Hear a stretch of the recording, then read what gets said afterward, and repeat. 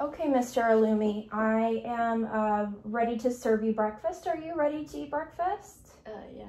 Uh, excellent. I'm going to step out and uh, go get your breakfast. I'll be right back, okay? Here's your call light in case you need me before I come back. Wash hands, grab breakfast tray. Okay, uh, Mr. Alumi, room uh, 1A, no allergies. Okay, Mr. Alumi, I'm back with your tray. Would you like me to help you clean your hands? Uh, yes, please. Perfect.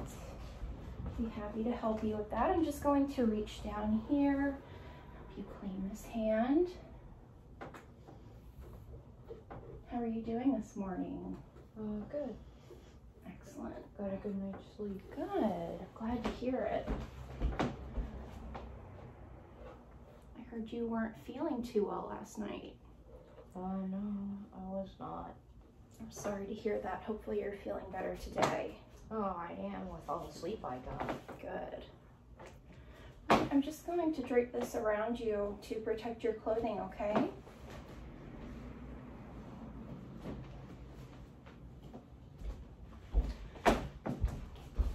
All right, so we have oatmeal and some oranges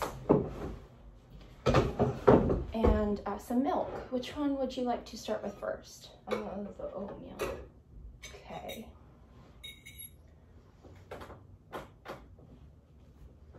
Good. Mhm. All right. Great. I've already checked the temperature. It's not too hot.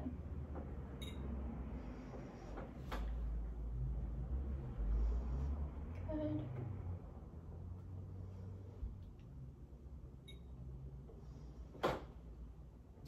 Would you like some of your milk? Yes, please.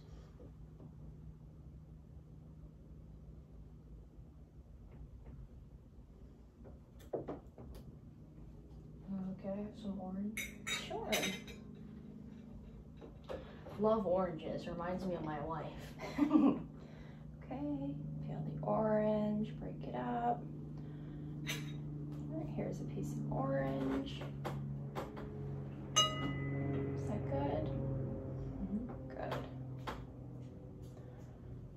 Would you like some more milk? All right. Would you like anything else? Uh, no, thank you. I think I'm full. Okay, perfect. All right, I'm just going to uh, clear the tray for you. Let me go ahead and grab your clothing protector.